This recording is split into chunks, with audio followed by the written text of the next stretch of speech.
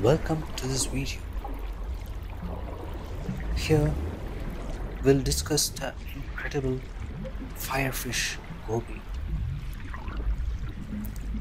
The firefish goby is part of the Gobiidae family. They are found commonly throughout the waters of the Indian, Pacific and Red Sea. First, let's take a look at their appearance. They grow to between 3 and 5 inches in size and clearly have an amazing eye-catching color. Firefish gobies have bright colors that range from yellow, red, orange and even purple. They have a dark line running from the eyes to the tail that helps to camouflage them in the wild. They also have a large dorsal fin with beautiful webbing and a fan-like tail.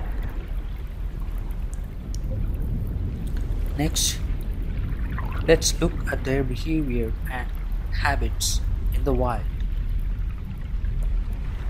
Firefish gobies get their name from a fascinating behavior that they exhibit when they feel threatened.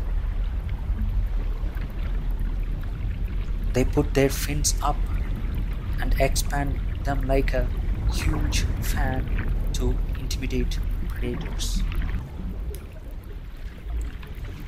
Firefish gobies are very active and curious fish that love to explore their surroundings.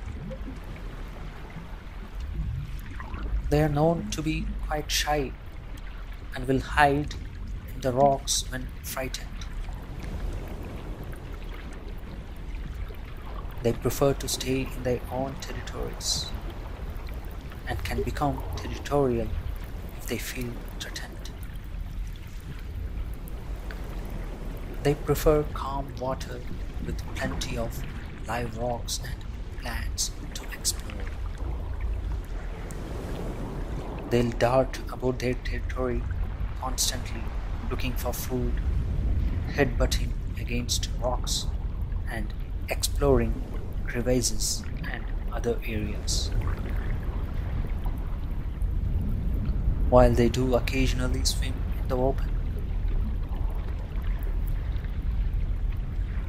When it comes to diet, firefish gobies primarily eat small invertebrates like shrimp and larvae.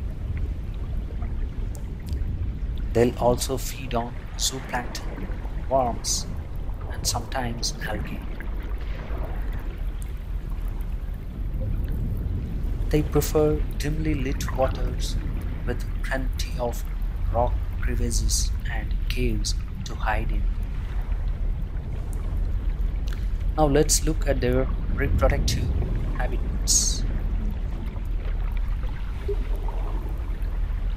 Interestingly, firefish gobies tend to display monogamous behavior, meaning they'll usually pair up with the same mate for life.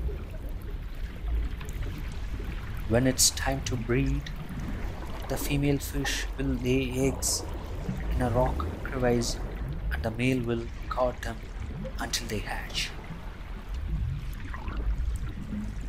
The eggs usually hatch anywhere from 4 to 8 days. We hope you enjoyed learning more about the firefish goby and their behavior in the wild. Thank you for watching.